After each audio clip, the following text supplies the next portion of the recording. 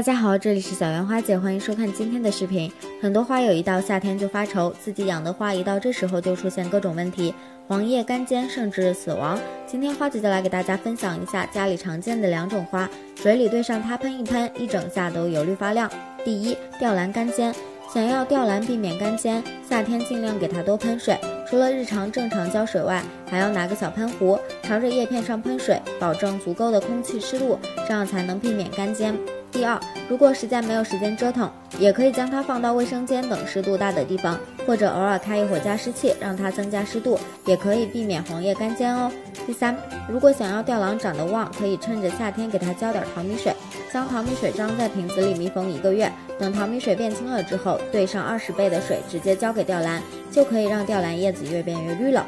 第二，栀子花干尖。一，栀子花干尖，夏天大部分是温度太干造成的。如果将栀子花养在室内的，最好每天早晚给它的叶片和花盆周围喷喷水，保证足够的空气湿度。第二，平常浇水的时候可以掂起花盆，感觉冥想变轻了再浇，或者是发现盆土变干了再浇。一旦积水造成烂根，也容易造成干尖。第三，夏天喝剩的啤酒可以敞开盖子晾两到三天，然后兑水二十倍，直接给栀子花喷洒叶片。啤酒中含有的养分可以为栀子花补充营养，从而让它的叶片越来越绿，也不会黄叶干尖。不知道各位花友们学会了吗？喜欢的话请点个关注哦，我们下次再见喽。